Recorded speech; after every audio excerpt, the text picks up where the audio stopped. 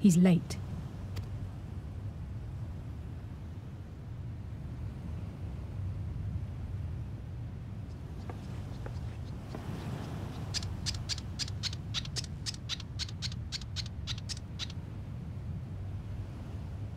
Endless and most sincere apologies to you and yours, yes, yes. This way, this way, quickly now.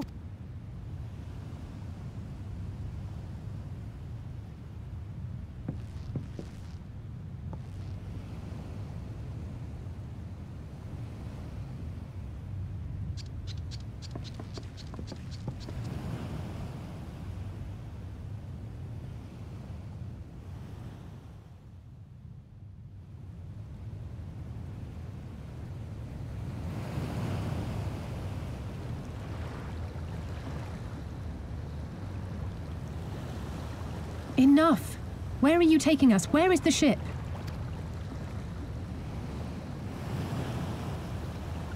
This ship, this ship. Uh, so very sorry to inform you, yes, yes. Long before was it pledged to another. To me, to me. These ones are for Doma.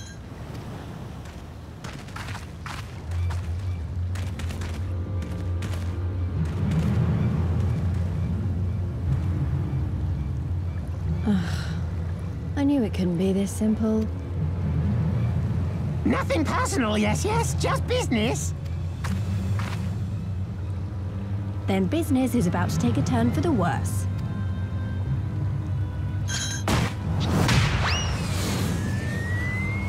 Ah!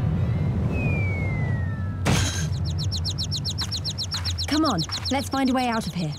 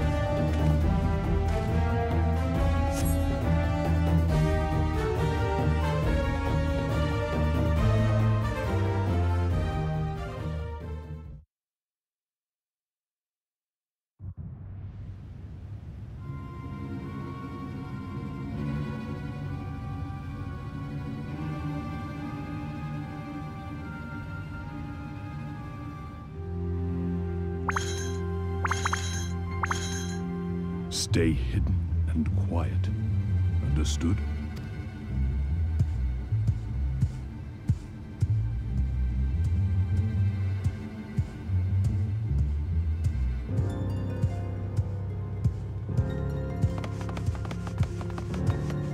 Clear the road! Clear the road! You there, Kojin.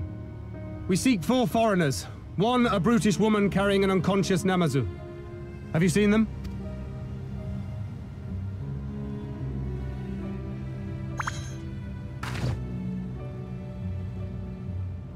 Four foreigners, you say? Ah, yes! Very rude they were, making no apology as they barged past. They went that way, I think. Many thanks, good sir. With me, they cannot have gone far.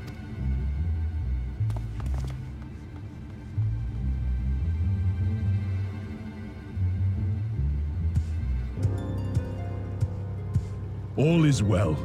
The Sekiseigumi will not return this way for some time, I should think. You are of the East Aldenard Trading Company, yes? Come with me. I know a safer way.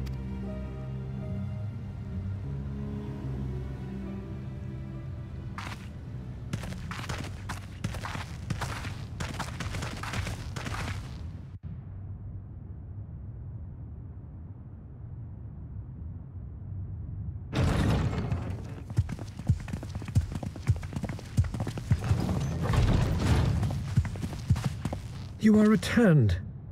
And with guests, I see.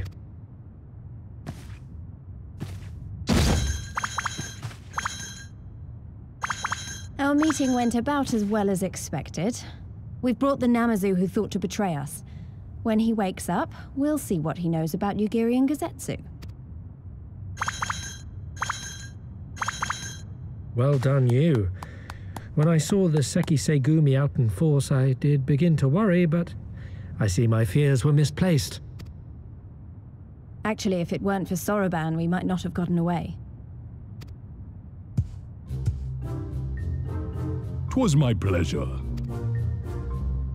Yet I must ask, Soroban, why would you deceive the Sekiseigumi to help us, foreigners of whom you know naught? Why, out of the kindness of my heart, is what I would like to say, but my motives are not so pure. I chanced to witness your meeting with Hancock at the tavern and saw an opportunity. An opportunity. Like many, I came to Kugane as a trader to make my fortune. Kojin of the Red may serve the Empire as mercenaries, but Kojin of the Blue walk a different path. Regretfully, most here would rather not meet our gaze, much less do business. So I seek the custom of those less predisposed to dismiss us outright, namely the East Aldenard Trading Company. Quid pro quo, is it? Well, there is no denying that we owe you a debt. What say you, Hancock? Will you consider doing business with our entrepreneurial friend here? Rest assured, Master Soroban, that in matters of trade, the company does not discriminate. We would be honored to hear your proposal. I promise you will not regret this, good sir. Ah, yes. You sought passage across the Ruby Sea, did you not? I have a ship you can use. You do? Well then, far be it from us to refuse. You have our deepest thanks. And you mine.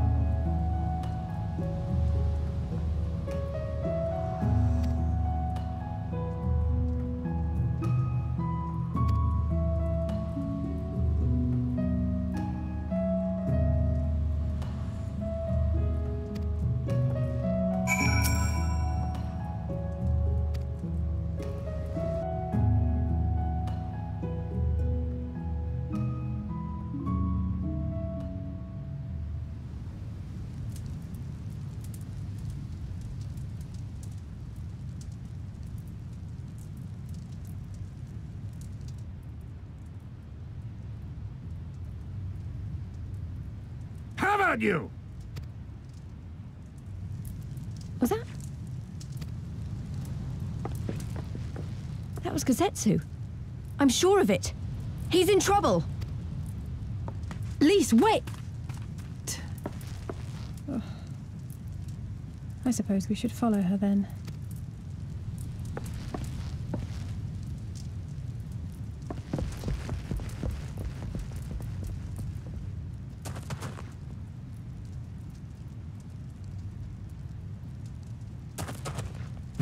Victory to the samurai!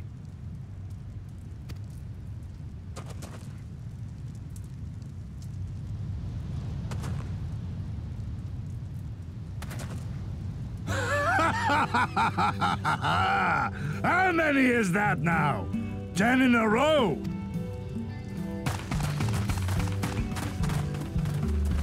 Gosetsu!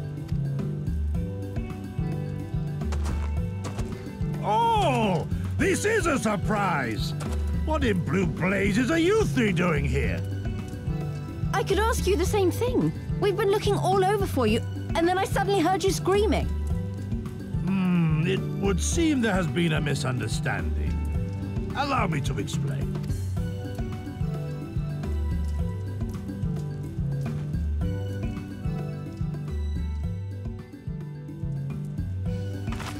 So, in summary, you started a brawl with some off-duty Imperial soldiers and were subsequently arrested by the Sekiseigumi, whom you somehow befriended and convinced to set you free if you could defeat a given number of them in single combat. Ten bouts for my freedom, aye. Tis but a pity you came too late to witness the last one. And with that, I'm free to go, yes? Our word once given may not be broken, but we pray you make every effort to avoid future altercations. Circumstances notwithstanding, my lord, we are honored and grateful to have witnessed firsthand the skill of a Doma samurai.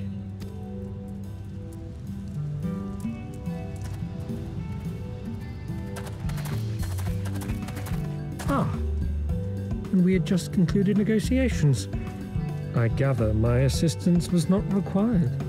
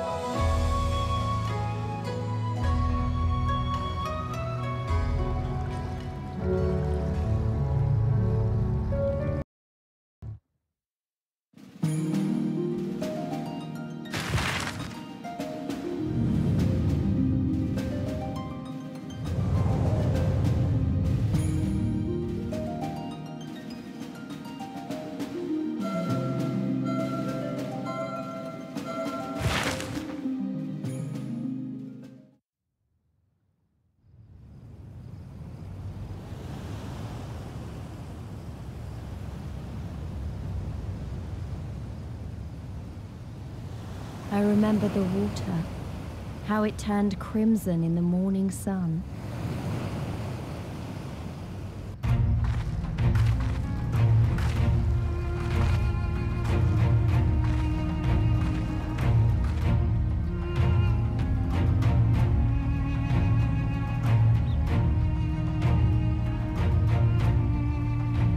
A shimmering sea of rubies, stretching from horizon to horizon. You could almost believe it went on forever.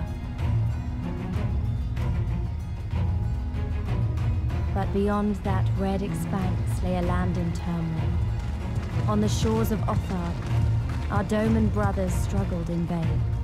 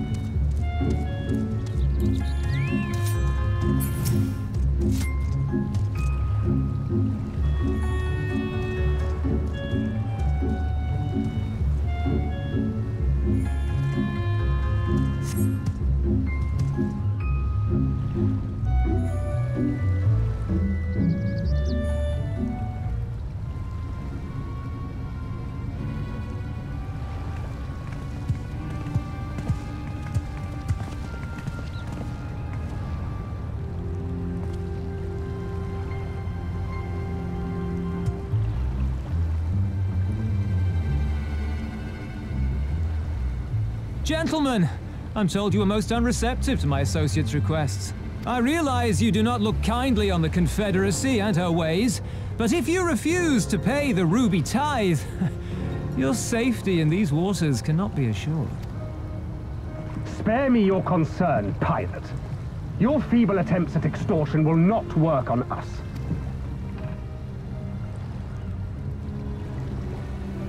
You remain at large because we allow it. Because you are such insignificant little pests that we see no need to swat you. But if you wish to risk the ire of the Viceroy, by all means, fire upon an Imperial vessel. Give us a reason to bring the full might of the Garlean Empire to bear against your pathetic fleet. Bastards!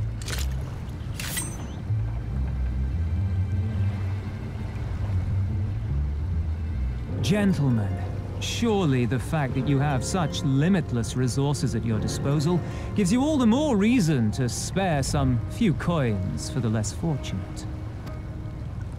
All talk, just as I thought. Come, let us away. I have no time for this rubbish.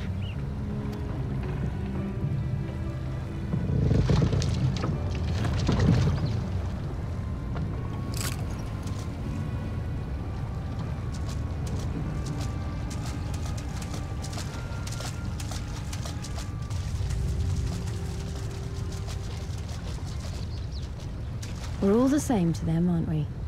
Savages to be ruled or slaughtered.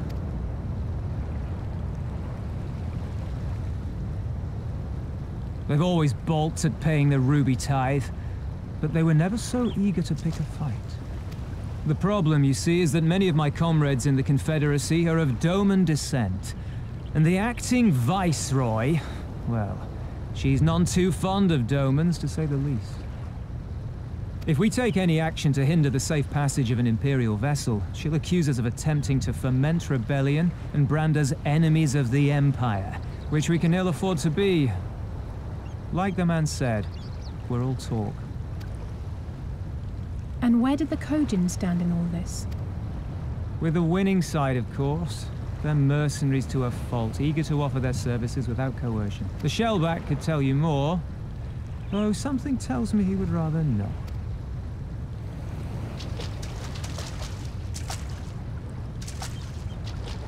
I don't understand. If the Garleans are causing the Confederacy this much trouble, and if so many of you are Doman to begin with, why aren't you willing to fight back?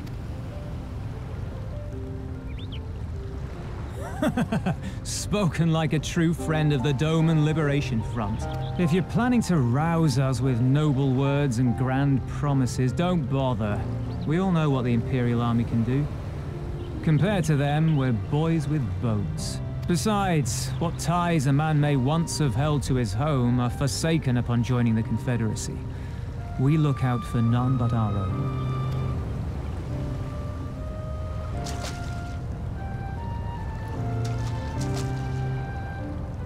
Be that as it may, our livelihood is under threat. And the captain will need to decide soon whether we're to go down in a blaze of glory or bow and scrape for crumbs from the Emperor's table. All while our friend the Viceroy continues her purge of Doma's radical elements. I believe she's holding court in one of the fishing villages even as we speak. That she-devil! Her perfidy knows no bounds! She must be stopped! Come, let us find Soroban and put us here at once! Tell the others that these ones have paid. We all have places to be.